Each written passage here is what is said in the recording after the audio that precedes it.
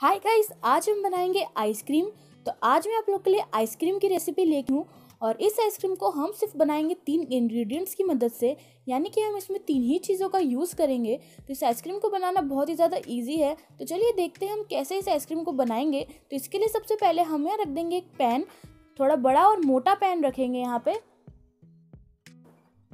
और अब हम यहाँ इस पैन में डाल देंगे एक लीटर फुल फैट मिल्क अगर आपके पास फुल फैट मिल्क ना हो तो आप दूसरा मिल्क भी यूज़ कर सकते हैं। ज़रूरी नहीं है आपको यहाँ पे फ़ूड फुल फैट मिल्क ही यूज़ करना है।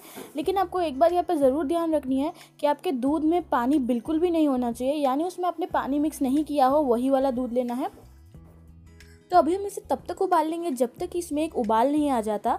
और अभी आप यहाँ पे देख सकते हैं कि हमारे दूध में जो है उबाल आने लगा है। तो हम इसे अच्छी तरह से मिक्स कर लेंगे सबसे पहले।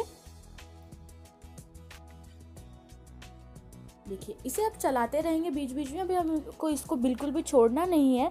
हर थोड़ी देर में हम इसे चलाते रहेंगे।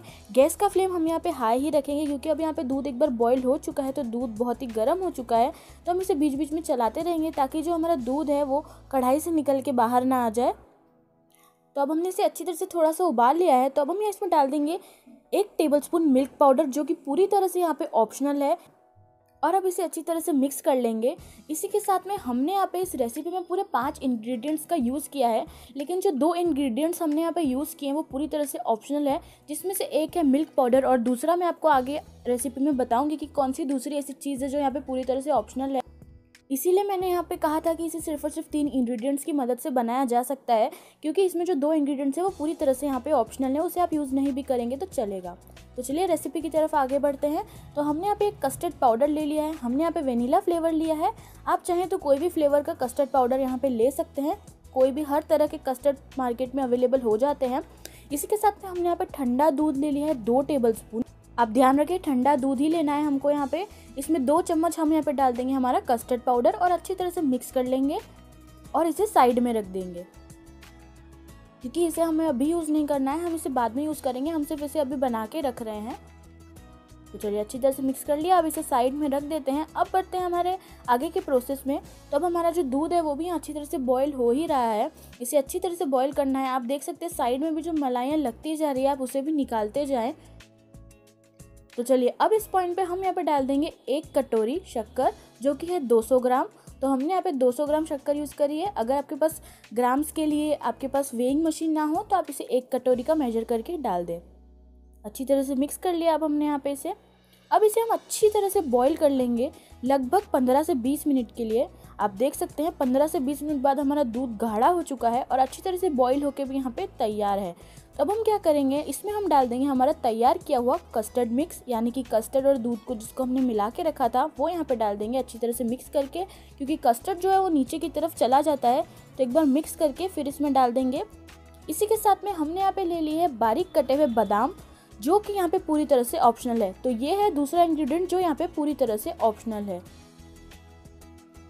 तो चलिए अच्छी तरह से मिक्स कर देंगे। इसी तरह से हमने हमारे सारे इंग्रेडिएंट्स डाल दिए हैं यहाँ पे। अब बस हमें इसे थोड़ी देर के लिए बॉईल करना है। ज़्यादा बॉईल नहीं करेंगे, लगभग एक से दो मिनट ही अब हम इसे बॉईल करेंगे और साइड पे से जो मलाई लगती जा रही है वो इस उतारते जाएँगे। और आप ध्यान रखें जब हम इसमें कस्टर्ड पाउडर डाल देंगे, उसके बाद हमें इसे लो फ्लेम पे ही बॉईल करना है। हाई फ्लेम पे बॉईल नहीं करना है। तो चलिए, अच्छी तरह से मिक्स कर देंगे। अब हम यहाँ पे गैस का फ्लेम ऑफ़ करेंगे और ऑफ़ करने के बाद हम यहाँ इसे लगभग 15 से 20 मिनट के लिए चलाते रहेंगे गैस का फ्लेम ऑफ़ करने के बाद, अच्छी तरह से मिक्स करते रहेंगे ताकि ये ठंडा हो जाए। और आप यहाँ पे देख सकते हैं हमने इसे चला चला के ठंडा कर लिया है और ये कितना गाढ़ा हो चुका है। इसी के साथ में अब हम यहाँ पे ले लेंगे पॉप्सिकल स्टिक्स यानी कि पॉप्सिकल मोल्ड्स तो हमने यहाँ पे मोल्ड ले लिया है। अगर आपके पास मोल्ड ना हो तो उसके लिए भी मैंने आपको एक अल्टरनेटिव चीज़ बताई है आगे। उसके लिए आपको वीडियो आगे देखना पड़ेगा। तो चलिए, इसमें डाल देते हैं। हमारी ये जो तैयार किया हुआ मिक्स है आइसक्रीम का। चलिए, अच्छी तरह से डाल देंगे।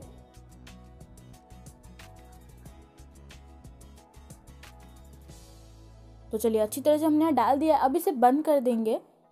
अगर आपके पास यहाँ पे मोल्ड्स नहीं हो तो इसकी जगह आप यहाँ पे कोई भी एयर टाइट कंटेनर भी यूज़ कर सकते हैं। या फिर अगर आपके पास एयर टाइट कंटेनर नहीं है, आपके पास अगर एयर टाइट कंटेनर घर पे अवेलेबल नहीं है तो उसकी जगह आपके पास कोई ऐसे प्लास्टिक का बॉक्स होगा। इसके अंदर भी आप अपनी आइसक्रीम का मिक्स डाल दें। और अब इसे कवर करने के लिए हमने यहाँ पे ले लिया है फॉइल पेपर आप इसकी जगह क्लिंग रैप भी यूज़ कर सकते हैं. तो फॉइल पेपर लगा के अब इसे रख देंगे फ्रीज़र में. तो अब इन दोनों चीज़ों को हम रख देंगे फ्रीज़र में लगभग दस घंटों के लिए. ऑलमोस्ट दस घंटों के लिए तो हमें इसे रखना ही पड़ेगा. तो चलिए यहाँ पे दस घंटे हो चुके हैं. हमने यहाँ पे एक बॉक्स ले लिया है जिसके अंदर हमने डाल दिया है पानी. अब हम इसके अंदर डाल देंगे हमारी आइसक्रीम की जो स्टिक्स हमने ले रखी है. यानी कि जो हमने आइसक्रीम ऑलरेडी जमा दी थी, वो इसके अंदर डाल देंगे. ताकि ये आसानी से निकल जाए। तो चलिए, अच्छे से 20 से 30 सेकंड के लिए हमने इसे उसमें डुबा के रखा और ये देखिए हमारी आइसक्रीम अच्छी तरह से निकल के तैयार है। तो देखा आपने कितना इजी है इस आइसक्रीम को बनाना।